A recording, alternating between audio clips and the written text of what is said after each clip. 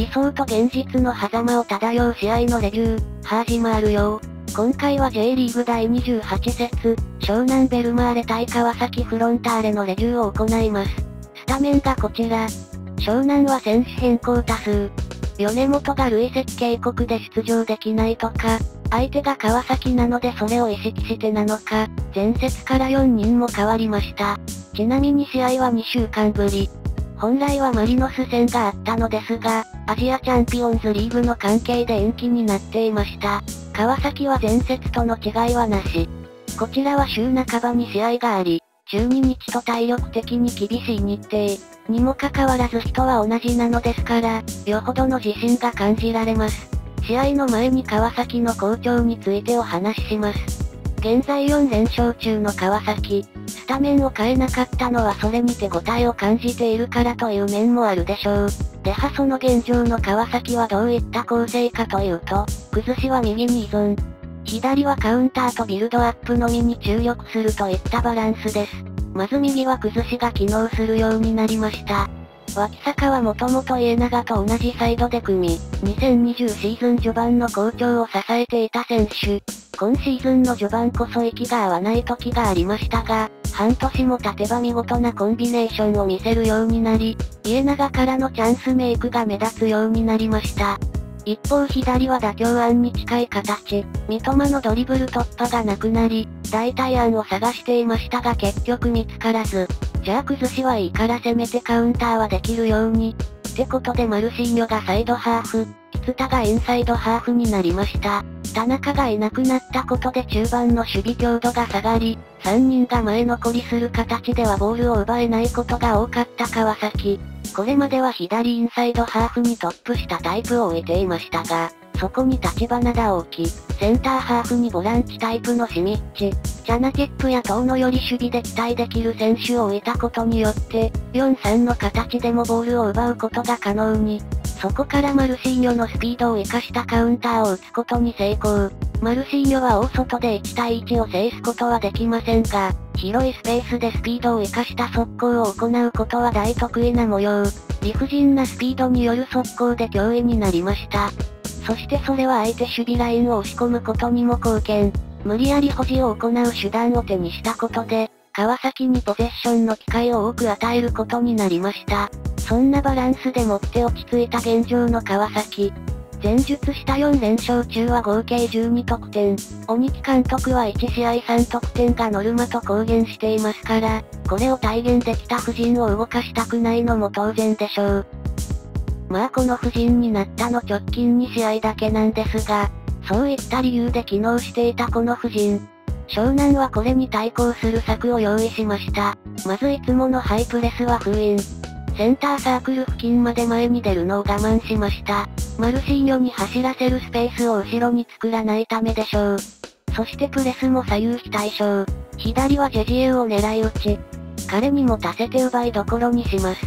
彼以外の部分はマークをし、パスを出しづらい状況に。瀬川がセンターハーフを切りながらプレスし、フィールドプレイヤーで一番パス能力が低いであろう選手からカウンターを狙います。右は谷口、車屋に余裕を与えます。ボールを持ってもプレスせず、ボールを繋いでもいいですよと振る舞います。前述した通り左の崩しは捨てている川崎。立花田はボランチタイプのため、湘南の最終ラインを脅かすパスは出せず、マルシーニョも狭いスペースで沈黙。あえて左にボールを持たせ、ポゼッションさせてもゴールには近づかせず、パスの数が増えるほどボールロストをする可能性が上がるのはサッカーの常識。今回もそれに漏れず、回すだけの状態のため最終的にボールを失い、カウンターを食らう場面が多くなりました。そんなわけで川崎の弱点をついた湘南が序盤を制します。が、先制点は川崎に入りました。コーナーキックから谷口のシュートが知念に当たり、コースが変わったことで谷が反応できず、これだけ聞くと湘南は不運な失点ですが、コーナーキックに行けるだけの状況を川崎は整えていました。川崎は右サイドの選手が自由に動き回ることで保持を機能。右サイドの低い位置に脇坂、家長が降りたり、山根が中に入ることでウイングバックのマークから逃れたり、守備の基準点を乱すことで安全にボールを持ち、そこからワンツーを行うことで崩しに向かいました。家長と脇坂は左サイドに出張することも、中央より左で数の優位を保ち、ボールロストのリスクを極端に下げます。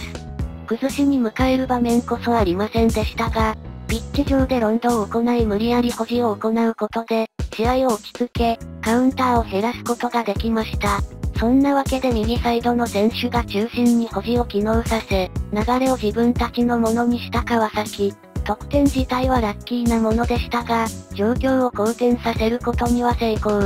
リードして前半を終えることができました。しかし湘南は防戦一方にはならず。理由は保持を機能させたからです。前述したマルシーニョのカウンターが脅威なことは理解していた湘南。奈良地上戦は避けた方がいいよねってことで、町のへのロングボールを多用します。川崎の守備はインサイドハーフとサイドハーフが前に出がち。そのためセンターハーフの横が空っぽなことが多々あります。ここに平岡、タリクを立たせ、ロングボールのこぼれを拾うことに成功。川崎のプレスに引っかからずに前線へボールを送れます。ボールが前に送られ、崩しに入ってからは4バックのギャップを狙う湘南。中野、石原が広げたサイドバックセンターバック間にタリク、平岡が走り込みます。ゴール前となればさすがに川崎のインサイドハーフも下がっているため、ここにはマークが疲れます。が、そこでさらに空いたバイタルを使う湘南。中野、石原がカットインしたり、米本や町野が利用したり、川崎のサイドハーフが守備をせず、4-3で守りきる形。必然的にサイドにスペースができやすいため、その弱点をついたいい攻撃だったと思います。そんなわけで湘南は保持率40ながらもシュート数は6対3。数少ないボール保持で効率的に崩しを行い、ゴールに迫っていました。それが報われたのか、後半開始早々に同点弾。川崎のスローインを奪ってカウンターから PK。ここも4バックのギャップを使ったものでしたので、まあ狙い通りといえば狙い通りなのでしょう。早い時間に追いつき、試合の展開をわからなくさせました。そして試合はそのまま終盤へ。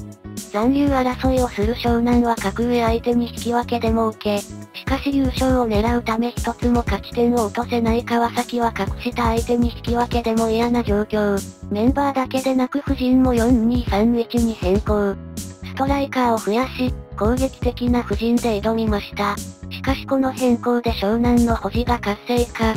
3151のような形に4231で対応すると、バイタルで2対3に、湘南のシャドウが数的優位となり、ボールが収まりやすくなります。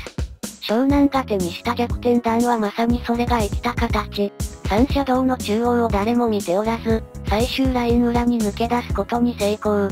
クロスから決勝点を手にすることとなりました。川崎も最後まで湘南ゴールに迫りますが、12日の体力的影響もあってか得点までは届かず、最終スコアは2対1。残留争いをする湘南が貴重な勝ち点3を手にしました。この試合の敗因について、鬼木さんは3点取れなかったことと言うでしょう。失点を悔やむタイプではありません。ですが左の崩しを諦める布陣にしている以上、上に3点を奪うのは苦しい気がします。それならば右サイドの保持の貢献を最大限活かし、ポゼッションで相手の体力と保持の時間を削り、右サイドの崩しでゴールに迫る回数を増やし、無理に相手が攻め込もうとすればマルシーニョで背中をつく。大量得点を狙うより、右のポゼッションと左のカウンターを重視した形にした方が計算は立ちそうな気がします。その上で左で崩せるようにしたいのであれば、左右のインサイドハーフを逆にするぐらいしか私には思いつきません。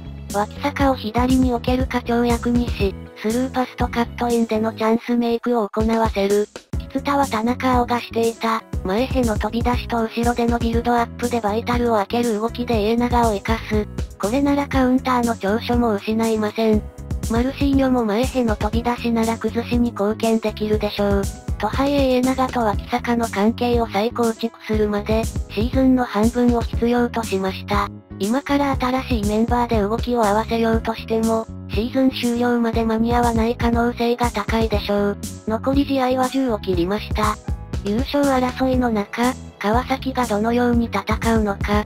楽しみにしたいと思います。そんな感じで今回はここまでです。また動画を上げようと思いますので、気にしていただけると嬉しいです。ではまた。